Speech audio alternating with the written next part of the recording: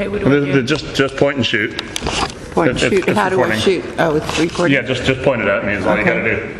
All right, this is uh, HPI International, and we are here at the famous Bay Terrace Theater in Vallejo, California, uh, beginning our investigation of uh, possible claims of paranormal activity um, after renovations have been uh, done in the last five years on this theater um, to bring it back up to, to a full production theater um, where they're doing plays.